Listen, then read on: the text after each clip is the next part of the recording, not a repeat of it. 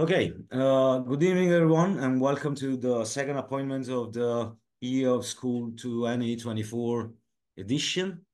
Today we'll have a lecture on digital governance and economics of human cooperation in Jerusalem to ask for peace. And ideally walking the same path that 800 years ago, St. Francis, walked, St. Francis walked to meet the Sultan of Egypt and pled for the liberation of Jerusalem. This means a gesture of peace and dialogue in history, and from Assisi to reach Jerusalem, it takes 8 million steps. With the economy of Francis, we thought of creating a worldwide campaign that will allow anyone who wants to donate Step for Peace. It will be possible to download an application that will count the steps donated and will track the path of peace crossed by young people all over the world. For this, you may visit the dedicated webpage that is francescoeconomy.org slash steps for peace slash. I'll tell you more once we're finished today. Second, we'll have a summer workshop that will be held in June in Florence and a summer school that also will be dedicated to homo mendicans, companionship and wandering. And this will be held in La Verna at the beginning of September.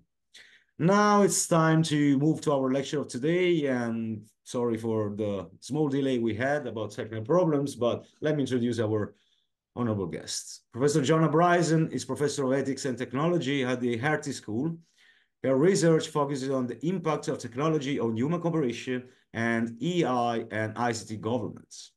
From 2002 to 2019, she was on the computer science faculty at the University of Bath and she's also been affiliated with the Department of Psychology at Harvard University, the Department of Anthropology at the University of Oxford, and the School of Social Sciences at the University of Mannheim, and the Princeton Center for Information Technology Policy. During her PhD, she observed the confusion generated by anthropomorphized AI, leading to her first AI ethics publication, Just Another Artifact, in 1998. In 2010, she co-authored the first national level AI ethics policy, the UK's principle of robotics. She holds degrees in psychology, artificial intelligence from the University of Chicago, the University of Edinburgh, and Massachusetts Institute of Technology. Since July 2020, Professor Bryson has been one of the nine experts nominated by Germany to the Global Partnership for Artificial Intelligence.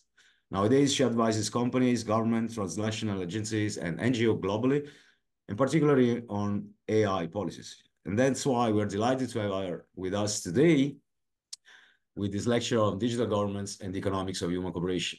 Dear Professor Bryson, the floor is yours. Thanks for being with us. Okay. Well, th thanks very much for having me. I'm going to share uh, my talk now. Um, please do, uh, I can't really see what's going on. So, so please do tell me if there's a problem or a comment that I should address. Uh, but I have uh, uh, too many slides because it's too exciting, the topic. so I will try to get through them quickly. Um, yeah, we'll see how this goes, actually. Uh, I don't usually work off this keyboard, sorry. Okay. Oh, I know what to do. Here we go. No, I'll just try this. Okay. All right. So, um, yeah. Is this working? Yeah. Okay. All right. So I'll talk first about cooperation then about polarization, then about governance, then about the future of work, because a lot of people care about that when they think about AI. And then actually the human value is not its uh, own section, it's actually sort of the conclusion. Okay, whoops, wrong way. Okay, so when do we cooperate is a big question. Um, so I'm going to use this very American uh, metaphor of the, uh, the pumpkin pie. Um, but of course, uh, we want uh, sustainability. So I'm not going to talk about the size of the pie. I'm going to talk about um, uh, the quality of the pie. So sustainability is basically how beneficial is the pie overall, right? How many people could the pie support? And then the fairness is about is everyone got the same size slice, or at least has everybody slice big enough that it could be lived off of, right? Um, so it may be that actually it seems in economics that that we like a little bit of inequality, high inequality, we get social unrest and the economy collapses, but very low uh, uh, inequality, we also have a slowdown of the economy. But anyway, it's got to at least be enough that we can really flourish. All right, so cooperation is about improving the whole pie, and competition is about improving some slice or slices, if you collaborate a little bit, at a cost to others, right? And so how do we choose whether we cooperate or, or, or um, whether we compete? Okay, I'm going to be brutally functionalist about this. Of course, we can think about like various systems by which we encourage people to do different things. Um, and in fact, even if you look at other species like, like Norwegian rats, things like that, you'll see that they cooperate when they see others cooperating. So there can be a culture of cooperation. I'm not saying there can't be. But at the brutally functionalist level, that you cooperate if you can find a way to do it. You know, competing is dangerous. Why would you do that? Right? So cooperate, you, co you cooperate when you can, whenever you find something. And this is like one way, I'm not going to talk about AI for a little bit, but realize that this is one of the things we could be using AI to do. AI is, I mean, intelligence is search. It's about accelerating our ability to know things. So we ought to be able to find more ways to cooperate and to create public goods. All right, so cooperation is absolutely natural. Some people think like the Darwinian thing, like, oh, these big deer and only one's going to win. But think about it. First of all, they're probably not going to kill each other. That almost never happens. This is deeply ritualized, these sort of battles to figure out who's the winner. But secondly, the what gets replicated, a deer doesn't make exactly a perfect clone of itself. That well, first of all, they're they're mammals, they they have sex with other deer, and they make these sort of weird hybrid things. But basically, the thing that is replicated is the gene. And there's most of the genes these two deer have are almost the same. So that means that they sort of have shared interests. That, each of the genes wants to have a way to propagate itself, and it sort of doesn't care which one gets to be the daddy. Okay. So this is why it took us a while to figure this out, but this is why it was possible, you know, from, from again brutally functionalist perspective, to get cooperation in nature. And you do. Like there are no single gene, uh, uh, there there are no single gene animals but there's also similarly, uh, of course, competition everywhere we look. So cooperation and competition are both natural and they're all over the place. Okay, well, one place we might really care about this is in uh, other uh, animals very, share a, lot, share a lot of genes with us. Um, and that includes uh, chimpanzees. So chimpanzees, we know that you can get um, groups of chimpanzees that cooperate and they also um, sometimes they schism and they have another group, but they're living happily side by side. And yet sometimes they switch and they start uh, attacking. It's called war. And it's not like our war. They go off, it's like guerrilla war. They go off and pick off the other group. The bigger one wipes out the smaller one and takes over its territory. And again, it took a long time to figure out why this would ever happen, but this particular paper, so Jane Goodall was the first one who reported this behavior, um, and, and, there was all kinds of uh, sexist reasons. People thought that she'd messed up and made this observation, but it was later confirmed. And um, this, this is an enormous paper where they got all the data together and it looks like this happens when there's a, ecological crisis, when there's no longer enough fruit to support all the chimpanzees, then the smaller troop loses. Um, pretty simple humans don't have just one group. So humans, like if you have a person, and this is not meant to be male or female, I'm just bad at drawing. Okay. So every person, and if you're lucky, you might have your your own your own family that you're producing. You certainly have parents. I hope that you know at least one of your parents. Um, but anyway, there's always some kind of biological relationship that you could call your in group, which is more how the, the chimps are kind of working. But we also have other things. We have neighbors, we have coworkers, we have people we we socialize with people uh, for example that we might uh, share uh, religions or professions or all kinds of things. So we have multiple possible identities and multiple possible groups that we can be a part of. And we take different strategies. So this is a extremely well established uh, dutch study. It was done a long time ago when before the euro so these are guilder. It doesn't really matter. Um, the, the experiment is you ask and each of you can think of what your answer would be I say, here's three numbers, and these are like the number, you could say it's euros, it doesn't matter. but, but, you know, imagine that this is, uh, you know, a fifth of a euro or something. Um, which of these would you, so I, you get to choose one of the rows and you get something and an anonymous other person that you will never meet gets something else. And really an astonishing number of Dutch people choose the top line. It looks like they're looking for um, the maximum number for both. Okay, so this is called pro-social. Now, other people just look to maximize their own number, right? And this is, you know, politely called individualist. And it's interesting because when I give this talk in America, especially like in places like Princeton, everybody's like, why would anyone take any other line? I don't get it. But so there's very different ideas about what's normal depending on where your background. Um, So uh, again, I'm not looking at the chat. Please somebody come in and tell me if there's something I need to address right away. Um, like you can't hear me or something. Um, okay, but finally, there are people that are willing to take at least a little money less in order to hurt the other person that they'll never meet. Okay, and then the nice, polite scientists call that strategy competitive. Okay, you can think of worse words to call it. Okay, so these are people that are willing to take a loss to get to have somebody else take a greater loss. Okay. All right. So this is how these people are distributed in the, amongst Dutch society in 1997. So you notice that the most, as I mentioned, most people pro-social. And as you got older, now it's very hard to tell this at the time, but as, as time has gone on, it does seem to be as you get older, it wasn't just that people born in 1920 or something were the ones who, who were very pro-social. As you get older, more and more people are playing the pro-social game, but even towards the end of life, some people are very competitive. All right. Okay. But notice that this is Amsterdam. And as I just mentioned, it's different in Princeton, New Jersey. Okay.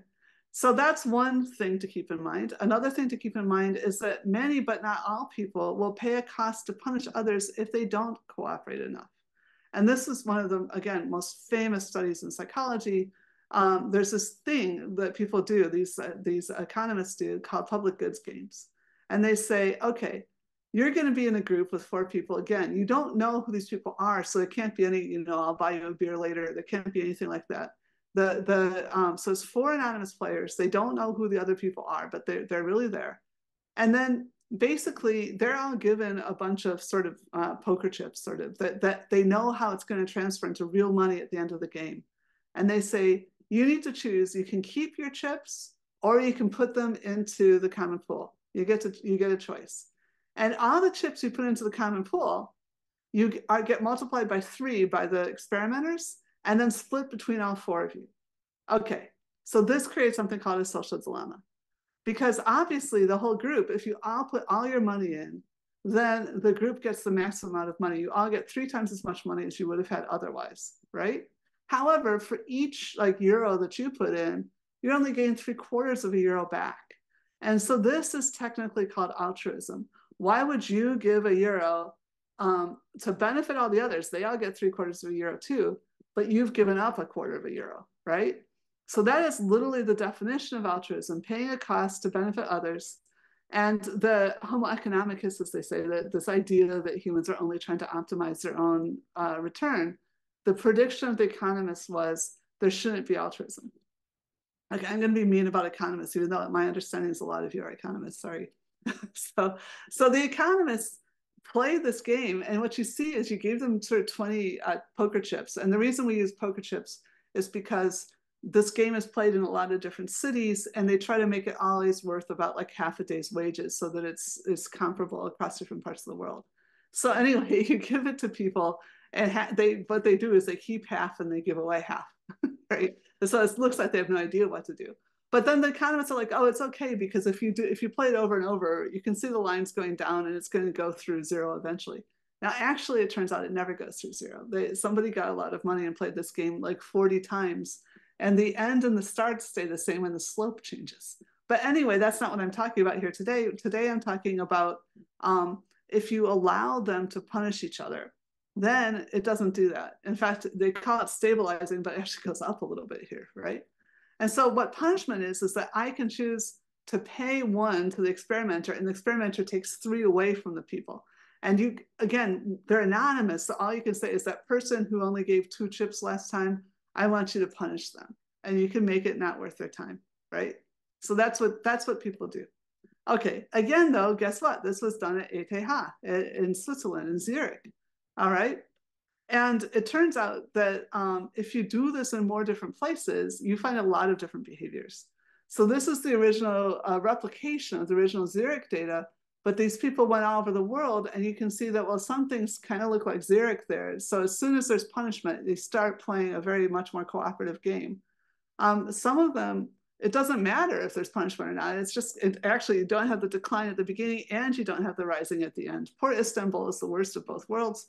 Um, and then you see these people in the Far East, including Melbourne, that they don't immediately see that there's a way to cooperate more, but they discover it under the under the influence of the punishment.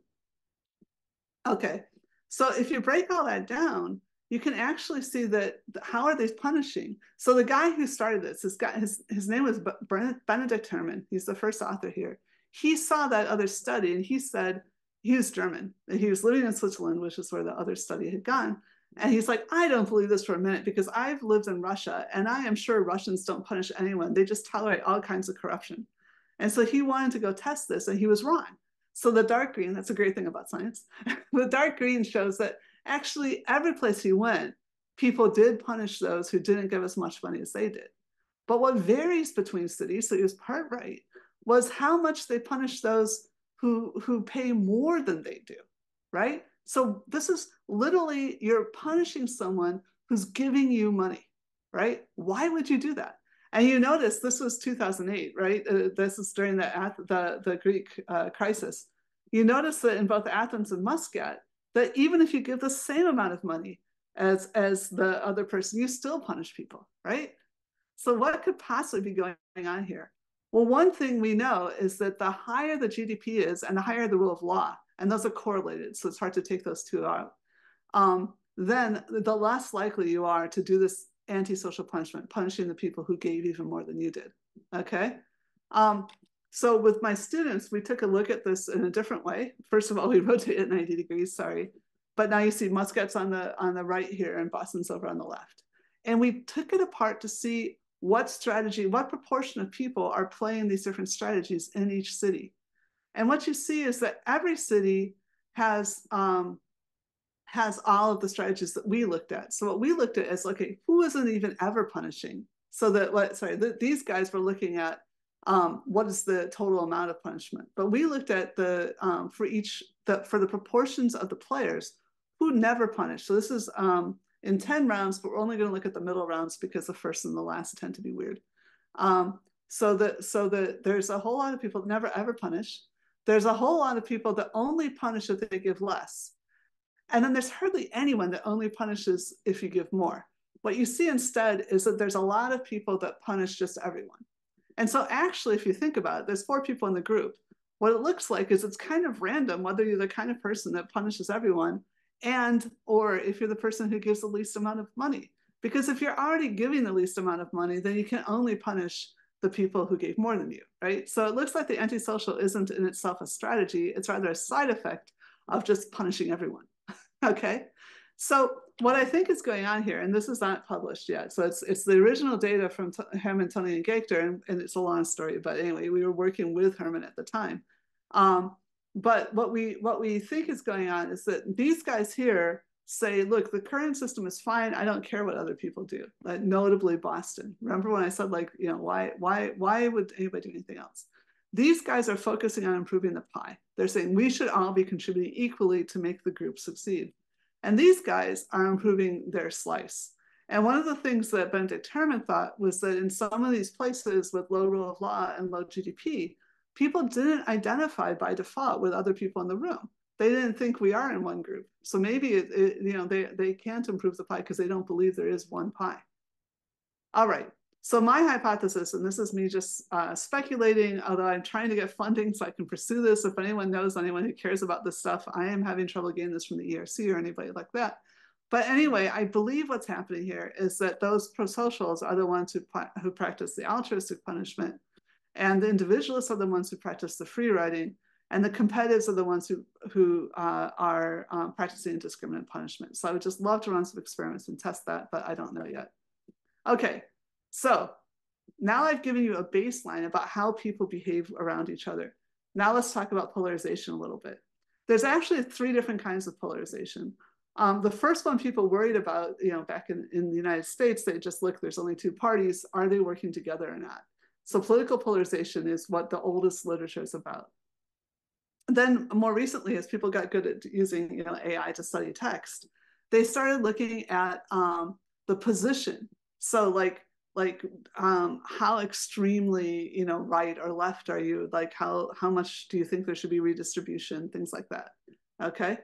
And so that is uh, you know that that was obviously of importance to political scientists but then around the 90s at least in the us people started noticing this thing was called affective polarization So originally it was thought that this was a consequence of the fact that the position polarization was getting really high.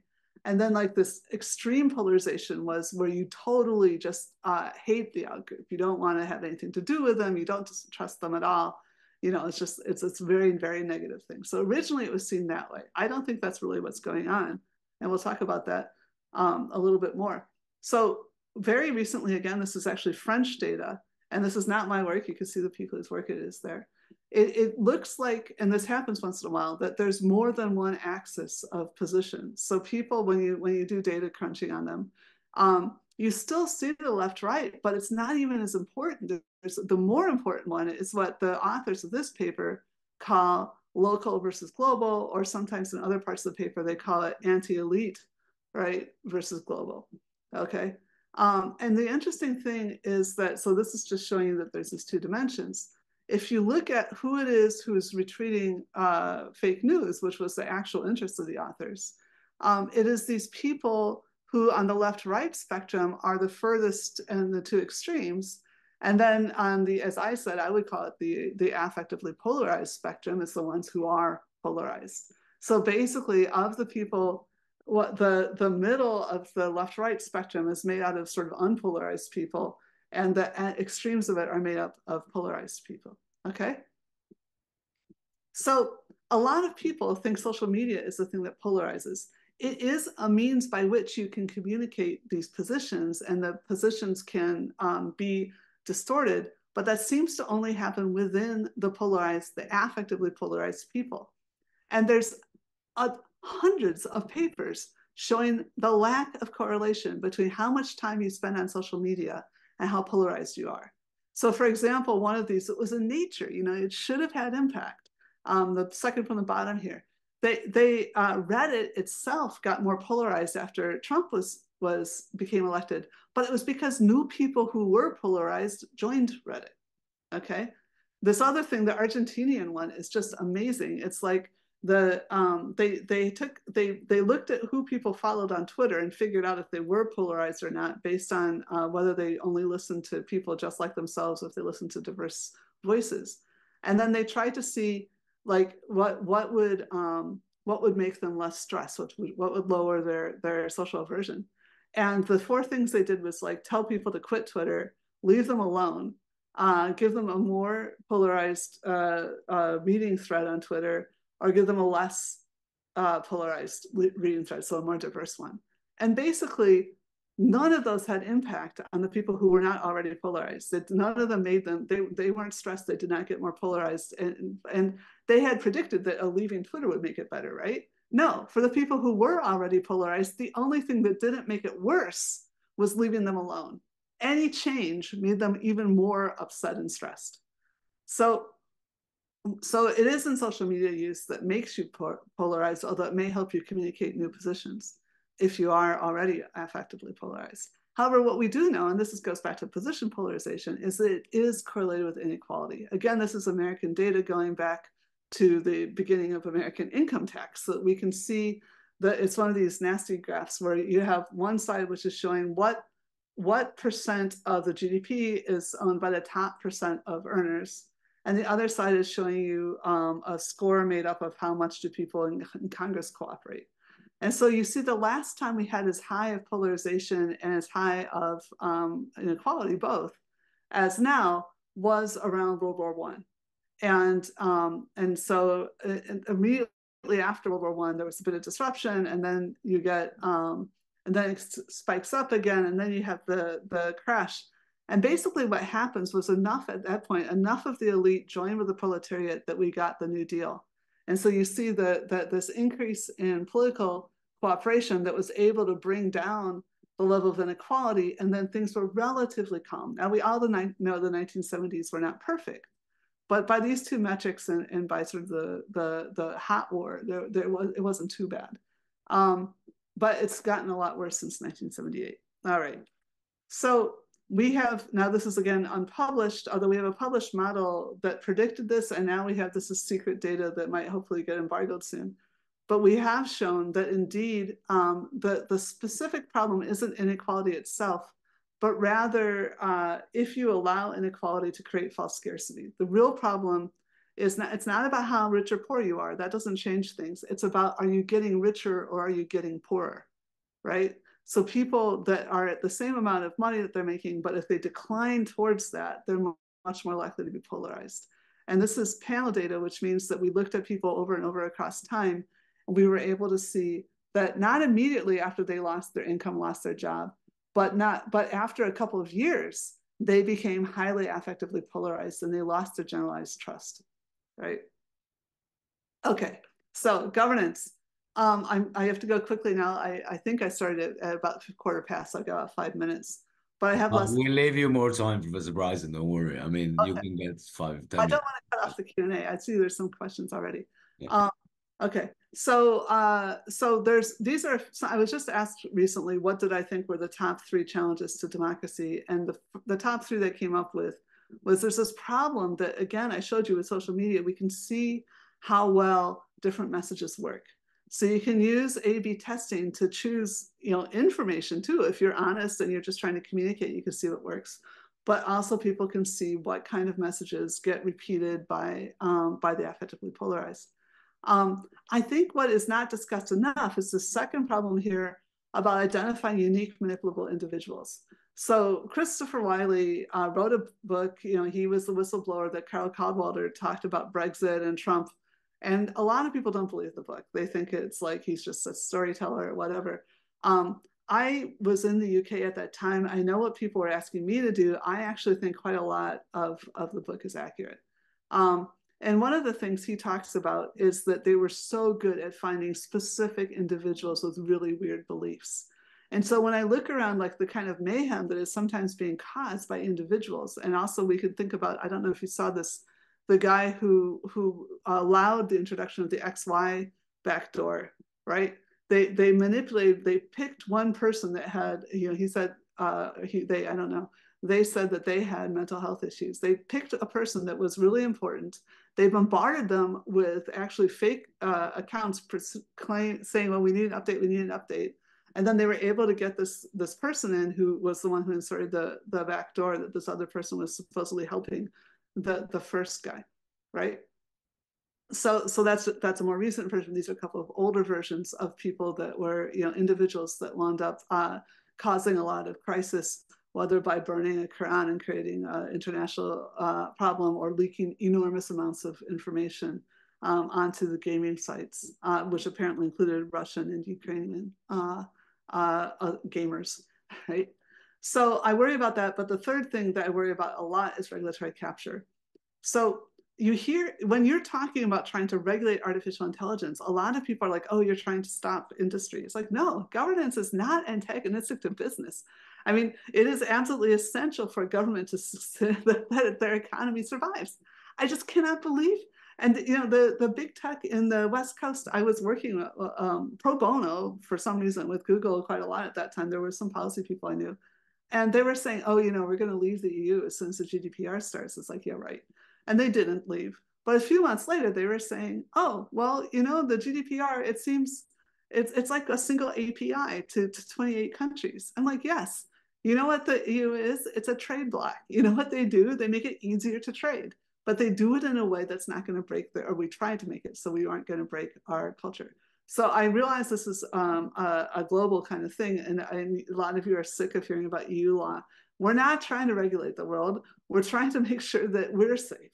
And then there's knock-on effects that other people can or cannot, you know, can make their own choices about whether to do business with the EU. And if you do do business, yes, it constrains you a bit. But this is not intended to regulate the world. It is intended to make the EU safe um, uh, if we have more digital business. And I think other regions should make their own rules, but they can uh, look and see what worked and what didn't work in the EU and whether they can use some of those patterns, but they don't have to use all of them or any of them.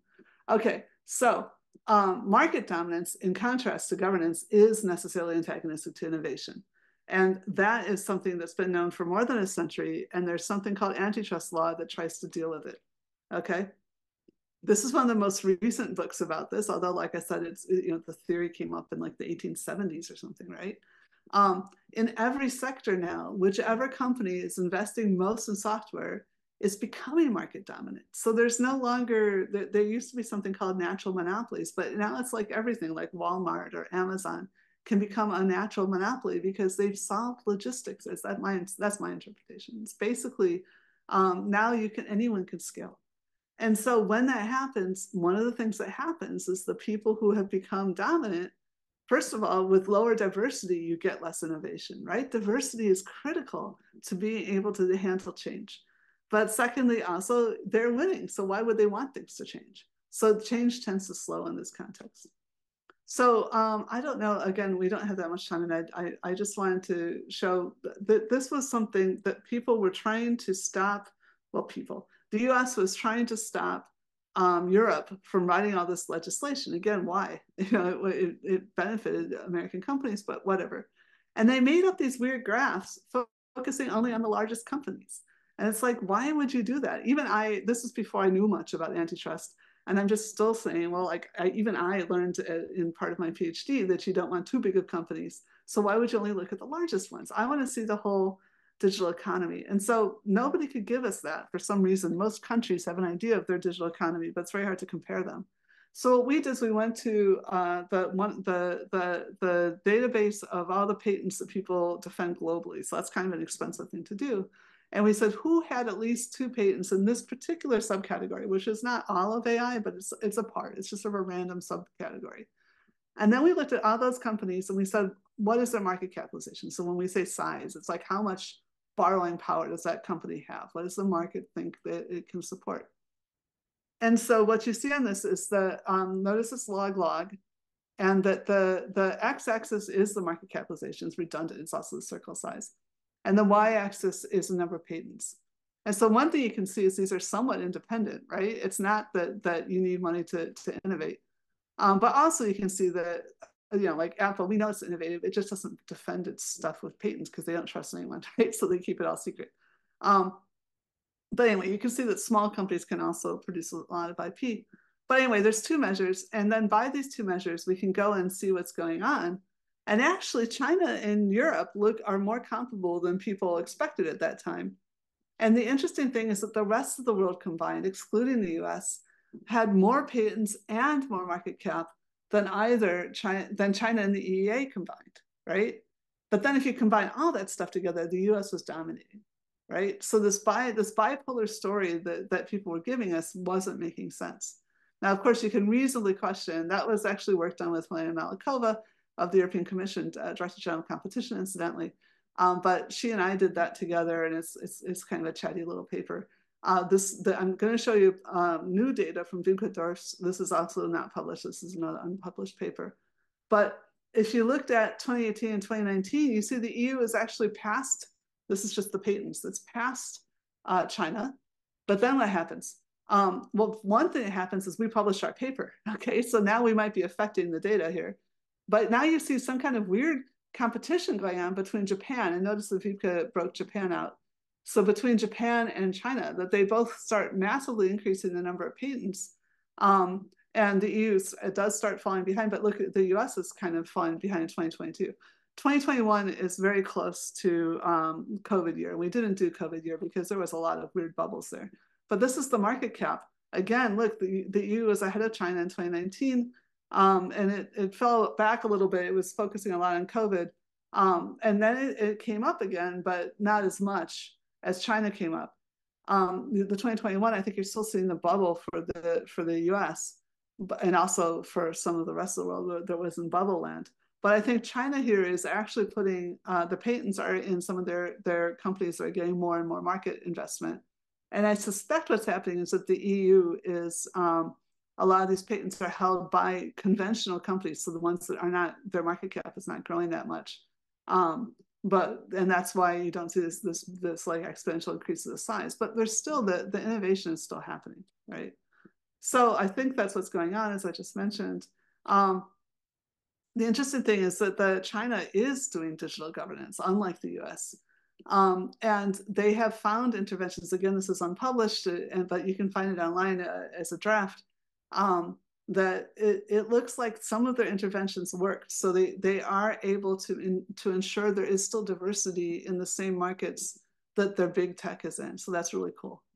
anyway, the EU has a lot of stuff going on in regulations. I mentioned everybody's all excited about the AI Act, but in my opinion, the Digital Services Act, which is the way that we're protecting ourselves against that hacking I was talking about before, um, you know, but identifying people by their social media and, and, and giving people different ads and things like that. That's the Digital Services Act, the DSA there. And the DMA is about this market concentration problem. So that's what the EU is doing for itself. I really, you really want me to talk about future of work? Uh, are we okay to go over a little bit? Yes, please, if you don't mind. Okay. Yeah, I, this is literally only like three slides on this, and then there's like one slide at the end. So this is this brilliant. Uh, there's some more papers that have come out that are similar, but this was the first one. These guys were the first out the door. Noy and Zhang, they were MIT students. They got into science with it. They actually went and looked at a whole bunch of people that were um, writing advertising copy, and and they indicate and they showed that um, these writers, college educated writers, that overall their productivity inc increased by 40%. Okay. Um, and how this happened was that the inequality between the writers fell because the bottom, the worst writers leveled up, but they didn't level up to the top. They leveled up towards sort of the third quartile. And they all, in aggregate, they all enjoyed their jobs better. However, the top 20% of writers, uh, although they initially adapted it, they, they eventually saw it wasn't helping them and they just abandoned it.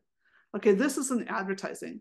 I, from what I hear, a lot of companies are trying to incorporate this uh, this LLM, and and they aren't finding it that useful because you will always get these mistakes, right? Maybe advertising is the one place where it doesn't matter what you say. I, that's a terrible thing to think.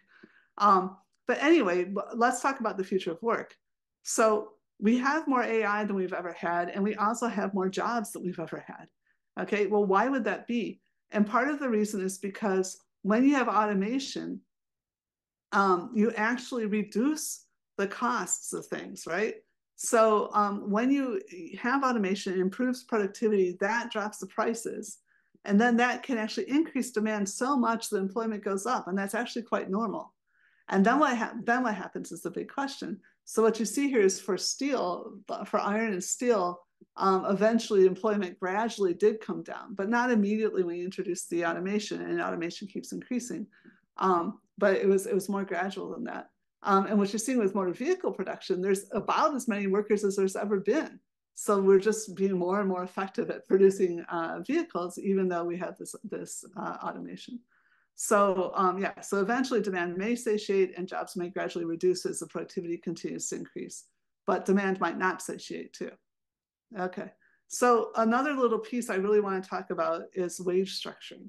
So when you have automation, um, some skills that people spent, you know, decades developing, or indeed that they just happen to be born with, um, they suddenly have a different value. Some will go up and some might go down. Okay. So this is a really interesting book to me, uh, partly because my grandparents grew up there, but it's it's the the um the the no, it's my mom. Anyway, it doesn't matter. The the focus of the story is that is that there was a big uh, Chevy plant that had very high wages that that gets shut down. So, but if you look at the community as it had been in the 70s, like or actually through the most of the 20th century, everyone there knew what the wages were available per hour by the cent. And this increase of these very high paying jobs in automotive, which of course during World War II was immediately turned within like a, you know, a month into munitions, okay? So that was part of what's going on with this. So this, this plant, um, I think that's part of the means by which during the New Deal, we, we got the redistribution up, okay? So up until the, the uh, 90s, they for decades they had this thing where they all knew what were the best jobs they were all competing to get into them and they tried to get into the plant and even if they didn't get into that plant there was this hierarchy of what were the next best jobs right and so everyone was assorting themselves in high school trying to get to this point um, and then they uh, they knew each other and their relative wages for life they all knew what was going on they're all trying to work their way up or down they had their various sized houses and then America decided we didn't need unionized labor anymore, the, the, the factory is shut down and the entire thing collapses. And they, you know, the, again, there's sort of charities for a while, but then nobody had the money for the charities, right? So, so this, this is the kind of situation. So the, the best predictor um, by county at the relatively low granularity level of who voted for Trump and who voted for Brexit and who voted who which are the regions that um, were susceptible to Russia out of Ukraine. This is where there's been this kind of economic collapse, and then everybody in that town, even if they're the really rich people, they still have less than they expected, and they might be having trouble with mortgages and things. So I showed you that result earlier. So yeah, as I mentioned this already, uh, right? So if you uh, if you have these situations, I think you have to have intervention, right? So otherwise, you will get this populism and, and a revolution and everything else. Yeah, um, you there ought to be people, and this is what you see like in Nordic countries. Of uh, as soon as a factory shuts down, the the government wades in, chooses a new industry for that town, inserts it, you know, and retrains the population. You can only do that if you're wealthy, though. So there has to be some kind of adequate redistribution to be able to do that governing, right? Um, another side of the problem, so that's about the old projects that were good. Another part side of it, though, is that new, newly um, there may be new demand, and sometimes that takes a while for the economy to recognize.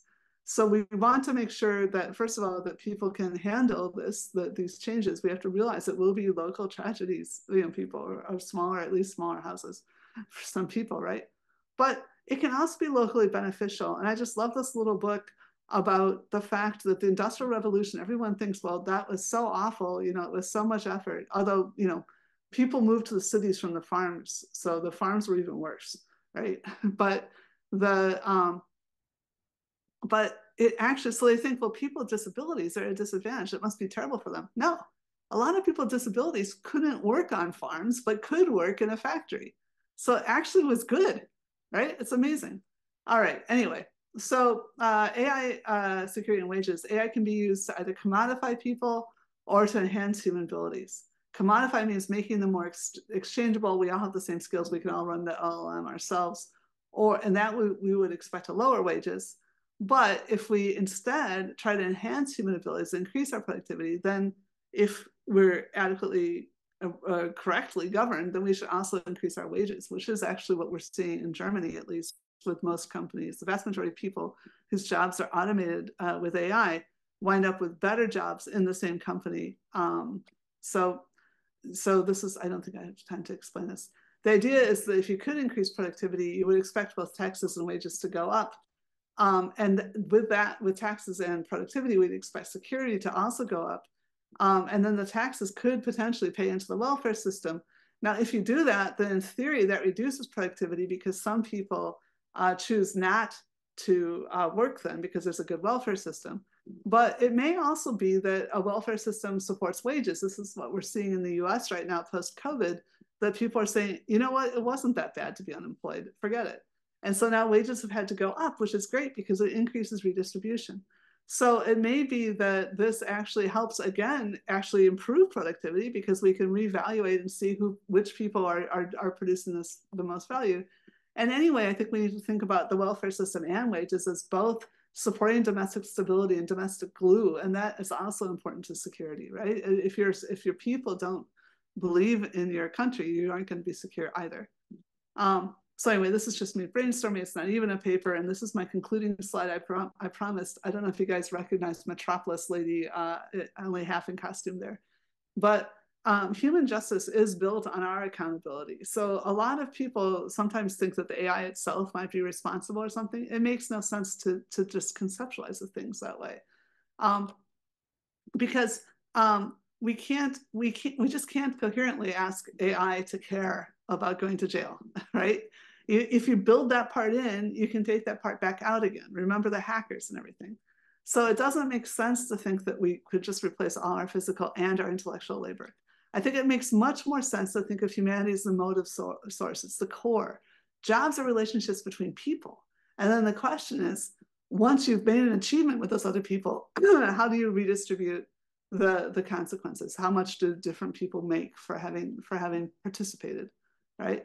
And if economics can't explain that, then maybe it's not the right it's not the right field. Maybe some other fields are going to wind up becoming more important in the coming decades. Um, so I think that in a just society, the ones that we should be trying to achieve, AI should be seen as an extension that enhances all workers, and that we recognize our importance as the moral core. Okay, thank you. Thanks a lot, Professor Bryson. Thanks a lot for many insight you provided. Actually, I'm unveiling also, you know, the relation dynamics between AI, fear of people, and what's going on sometimes. I now leave the floor to Juan Carlos Mondragon, uh, which will be your discussants. Juan Carlos, you have seven minutes. I'm sorry because we have a bit of time. So I'll be strict on time. Please use your time carefully, and then we leave the floor to Professor Bryson for a reply.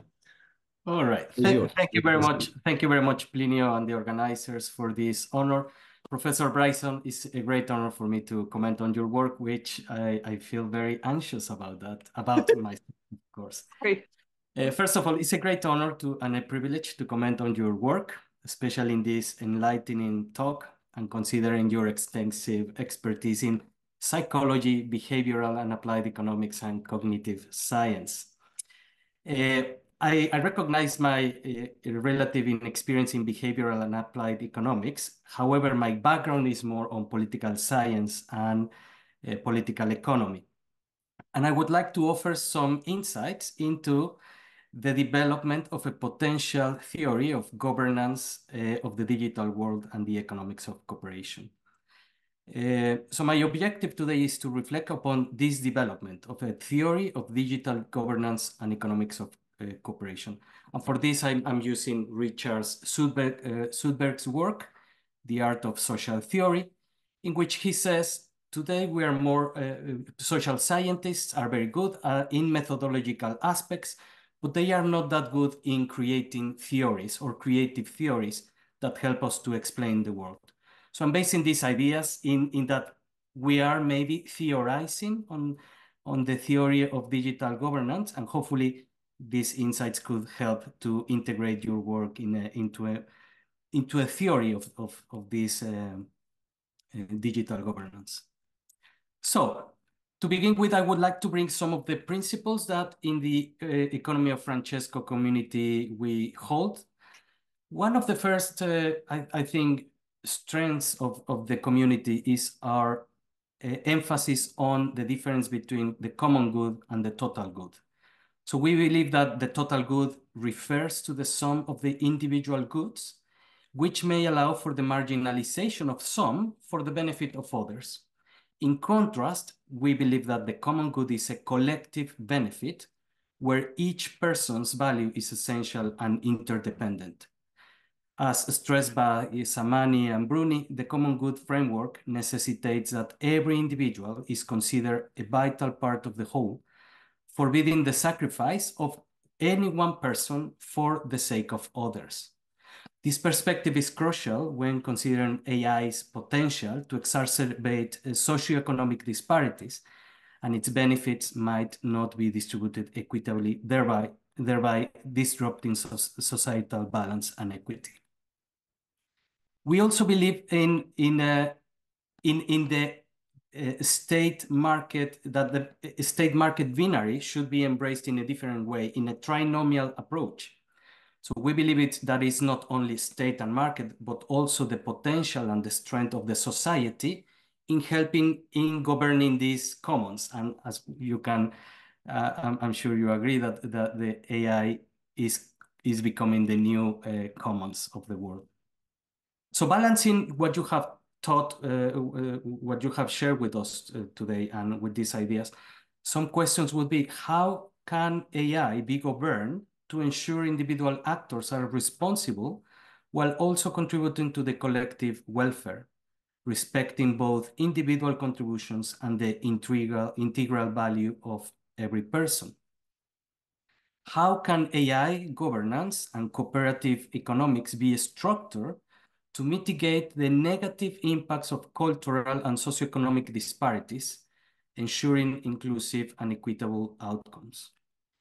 is it possible to consider policies and frameworks that prevent AI from becoming a tool that exacerbates inequalities instead of a technology landscape that supports the universal destination of goods and equitable access? Can we create strategies for leveraging AI in ways that support solidarity, job creation, and human-centric economic development in line with both technological advancement and societal needs. we also, uh, is it possible to integrate the idea of moving beyond the state and the market, in which society has a strong role in governing uh, the AI world? And is it possible to ensure that AI systems are transparent, understandable, and above all, that they respect the dignity and rights of all individuals, particularly in complex decision-making processes? So some, some reflections for this, we must consider reconciling digital governance with diverse economic systems, and this, this mainly comes from your work, and, and the varying states of rule of law by focusing on local cooperative variations and institutional capabilities. Uh, this leads also to questions about AI's potential roles in economic systems. Uh, also, the potential in addressing economic challenges like instability and inequality. AI could be employed to identify and alleviate issues such as inequality and instability, economic instability, potentially through predictive analytics, for example. However, its application needs careful oversight to, present, uh, to prevent exacerbating existing disparities. Uh, moreover, AI's role in societal polarization, it's, it's complex as well. It can be used for polarizing purposes, but also it can be used to de-escalating polarization, as you, as you suggest, perhaps through promoting diverse viewpoints or facilitating cross-divide dialogues. Um, finally, integrating AI into economic systems and societal governance must be approached with caution aiming to maximize its benefits while minimizing potential harms. Uh, combining these insights, I believe, from your work and the EOF community and other so, uh, Catholic social teachings, maybe we can envision a holistic framework for AI governance. This framework should, should encompass state regulation, market innovation, as you have kindly uh, said, and societal ethics, ensuring AI development aligns with the broader humanistic and ethical goals. Uh, so basically, those are the questions and the reflections I would like to share. Uh, is it possible to create a theory? Is it possible to regulate and to provide a, a good framework for governance in the AI digital world? Thank you very much. Thanks a lot, Juan Carlos, for being on time, perfectly on time, I would say. Professor Bryson, the floor is yours for five minutes. Thank you. I think I'll try to get it done in about three. Uh, thank you for your comments. I think they're really useful, um, and uh, and I, I, think we are very much aligned. Um, although I will have one thing that I will sort of turn on its head a little bit. I do I do hope that you saw that I was also producing theory as well as playing with data, and I and I do think that this is really something, especially when we talk about these kinds of global uh, perspectives that you have, we have to recognize we do have natural experiments. Um, we do have uh, countries, and, we, and in some countries, we have states within countries where the digital, the experience of the digital transition has has has increased and decreased inequality. So we can look and see what has been working. Um, the thing I'm going to turn on its head is that I don't think this is about governing AI. I really, really think this is about governing. And AI is like the new paper. It's like, you know, we write down our intentions on it. Um, and I, I'm really, I, it's not only in terms of economics, but also in terms of security recently, looking at what, for example, this, this situation we just found out about over the weekend about um, Israel using uh, AI to rapidly classify who is a target, who is not a target in Gaza. Okay, so the question here is, um, uh, well, there's a lot of questions, of course, we don't know. It could be that that they're doing that just as the kind of ethics washing, so they can come up with a narrative about anyone. You can connect anyone to anything, and you and you and then you don't, you're not actually doing anything. But it's possible if we take it, and you know, that, that maybe it's a great tool, and it really is identifying the best candidates. Uh, to but then you still have this question: so what? Do, how does it change that that the Israelis suddenly know these candidates much faster? And I think this is the real problem for our security and for our, our uh, how we're able to help each other is we are just handing a lot of people a huge amount of power. Um, one of the things I very much worry about is, uh, so, oh, I will take, I, I will contest your issue about there being three things, you know, the, the government and the, um, the government, the business and the society. Um, I think what we really need is uh, for government more and more to be clearly an expression of the society. So the, so the government is the means by which we were trying to ensure, as I mentioned, it was, it's the means by which we were trying to ensure that our corporations are not doing the wrong things, that they're doing the right things, and that, that and to help us uh, provide for our common security, provide for the common defense, as we say in the U.S. Um, so so those so we constitute our states, and then states use governments to coordinate. So I'm not sure we really. I mean, it may be that, for example, journalism. Um, maybe we really do need these. It's easier sometimes to modularize. So maybe we do need to have other other uh, sectors. Um, but I, I sometimes feel like people are abandoning government a little too easily as if it was this alien force. It's not an alien force. And similarly with AI, there's a lot of people that believe AI makes things opaque. Look, it's a product. You get to decide whether, you know, like it's poisonous, right? You know, like do you get to, you know, like you know, uh, Coke used to be, uh, cocaine used to be a product and, and you know, uh, um, LSD used to be a product and, and a lot of countries decided to ban those those products and they've cost you know i'm not trying to simplify things but i'm just saying that that the or oversimplify things that um, we absolutely should not allow artificial intelligence to be in our products unless it is at least uh, maintaining and preferably increasing transparency. In a digital world, it should be easier to hold people to account to see who did what, why they chose, what their justifications are. When we build software, we call this revision control. You know you don't necessarily write down what you did about every character but at reasonable chunks you're supposed to say why did you change the code and you can go back and see in a, a well cyber secured system you can go back and see who changed what and why did that. And you know they were able to go back and trace down who had hacked the back door into the system because everybody does keep those kinds of records. There's no reason for anything without AI that we couldn't have those records, except the danger of that data, again, if another government comes in that wants to get rid of all the creative people or something. so that is one of the things I'm very worried about is that I don't feel like, I mean, just like if you have a, an invading government coming in, you want to be able to blow up the bridges, which normally you, that you built the bridges because that was better for, for commerce, right? Um, similarly, if, if you have if your country's being taken over by by someone who's going to wipe out everybody that, that might challenge them then you probably want to destroy the data set that was helping you to govern and be fair and just and everything else before and so i think these are some of the problems i haven't heard enough people talking about about how to how to you know to to, to blow up those bridges. Um, but having said that i don't want to only take the limit bad case. The point is that we we have more tools now or we should have more tools to hold our governments to account, our companies to account. Um, and one of the really weird things about companies is that in the end of the day, although we should have all this information, by and large, most of the court cases involve somebody getting a hold of the email so that we know what they were intentionally doing, you know. Um, but that makes sense. The, the, the, the, the leaders are responsible. So anyway, I thank you. I agree with your goals. Um, and I hope that my comments only help you achieve those goals. Thank you very much, uh, Professor. Thanks a lot. Unfortunately, we have no time for taking uh, questions.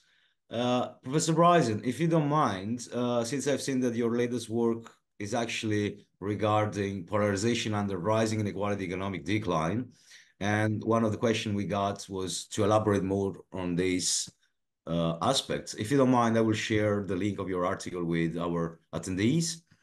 Sure. And uh, uh, that that you also share the blog post because that links to the uh, one not the the articles the secret stuff I showed you but but the but the basic idea is that when you're falling behind uh, well trust is a luxury good and when you cannot afford to you, know, you have bankruptcy or foreclosure when you cannot afford to take a risk that's when people seem to become polarized and only trust the ones that are that are also paying a big cost to be predictable so that's the basic idea about it but yeah thanks a lot in a way you replied also to that question.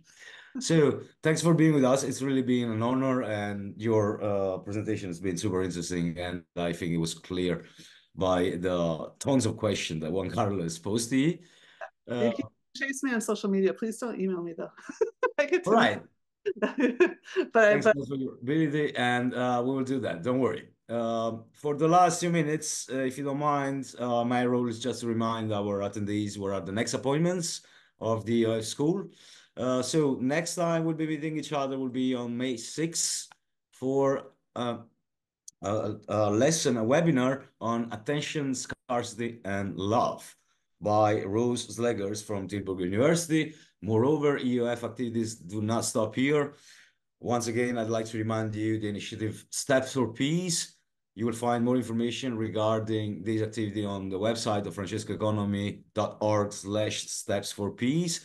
And then we have two more activities. There are summer workshop and summer school 2024 that will be held in June and September, respectively.